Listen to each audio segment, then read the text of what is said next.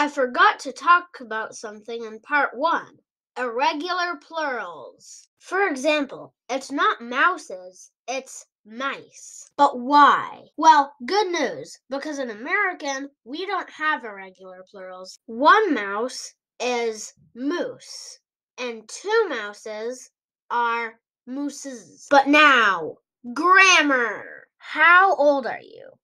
How is that sentence correct?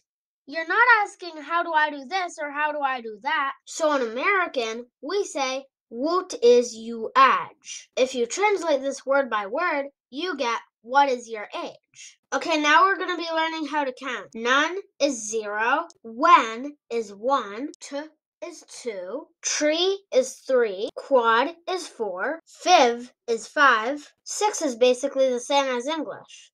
Six. Sven is seven, et is eight, nin is nine, and ten is ten. Eleven is ten one. 12 is ten to, and so on. Christmas is coming soon, so let's make a word for Christmas. Tristmas is how you say Christmas in American, and snow is snow. Also, look at this sentence. Why is there a comma before the word to? You don't say I'm going to the party to you say, I'm going to the party too. So if this is translated to American, we don't have that comma. This is pronounced me going at the party also.